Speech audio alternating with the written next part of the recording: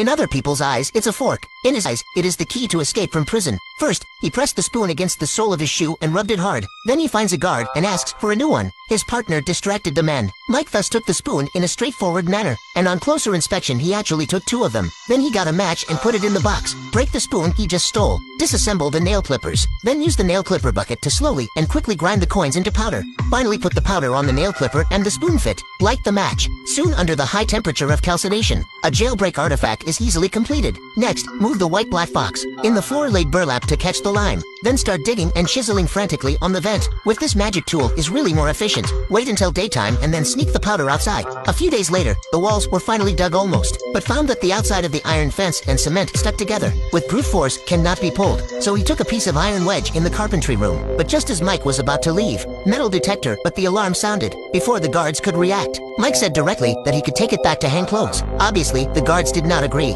and checked him up and down again. Mike could only leave disappointed, but unexpectedly back to the cell. He actually took out another piece of iron wedge in the bottom of the shoe. It turns out that just now is just a blindfold. Then he put the iron piece on the edge of the iron net. After a few kicks with force, iron basket net was removed by him. Then he cautiously poked his head out to check. He did find a possible way to freedom, but now was not the best time to break out of prison. He then soaked the newspaper in water and made a shape that resembled a vent. After the newspaper had dried completely, he painted the wall with the same color, and so a fake vent was cleverly created to look like a real one. Then used the same way to make a dummy head. Look at yourself in the mirror and make a nose and eyes for the dummy. Finally put it on the bed and cover it with bedding. Look as if they sleep. Everything is ready next. It is time to escape from prison. He made a dummy head out of newspaper, compared to himself in the mirror, pinched out the nose and eyes, then glued eyebrows and hair, put it on the bed and cover it with a blanket, so that it was as if he was asleep. Then he carefully drilled out the vent, and finally restored the fake vent to its original state. He followed the drainage channel and found a huge drainage pipe. He climbed up through these pipes little by little. Finally, he reached the highest level of the prison,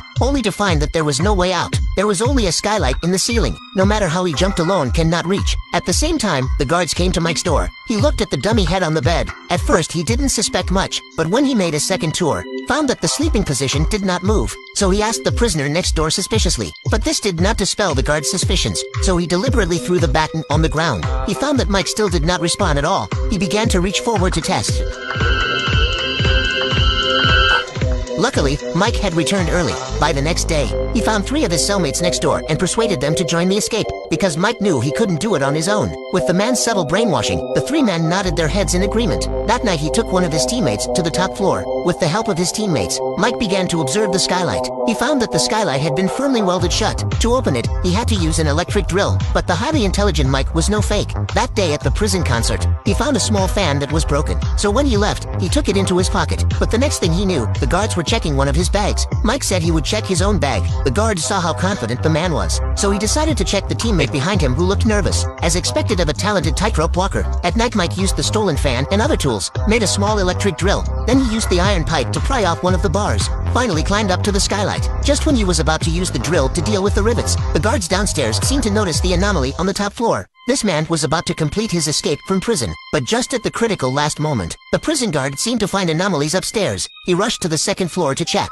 Good in the end did not find anything. Meanwhile, Mike was using a drill to deal with the rivets that were welded, but the efficiency of homemade electric drill is too bad. But the advantage is that the sound is very small, very small. So up to 998 days later, everything is finally ready. But if there is no accident, an accident will happen soon. This day, the warden personally raided each cell. The guards threw Mike's bedding on the floor. The metal detector kept scanning, and the warden went into the room. The box was opened, and the fake vent was revealed. At this point, the man was so scared that he wet his diaper. The good thing is that Mike, by the subtlety of the vent, made the perfect. The warden could not see any difference. But when he left, he said he would transfer Mike to a new cell tomorrow. He noticed that Mike had been behaving a little differently lately. With time running out, Mike decided to start the operation at night, but one of his teammates was too scared to move. Silently lying in bed and crying, Mike and his team did not care about that much. The three of them worked together and soon arrived at the rooftop. They carefully avoided the searchlights. They slowly slipped down the pipe to the ground. The guards on the other side of the patrol looked at the dummy head in front of them, also did not notice anything unusual. At this moment, the only thing left in front of freedom is this iron net. The three men quickly leaped over despite the pain. The fourth teammate, who should have escaped from prison, suddenly figured out. But by the time he got to the bottom of the skylight, it was already too late.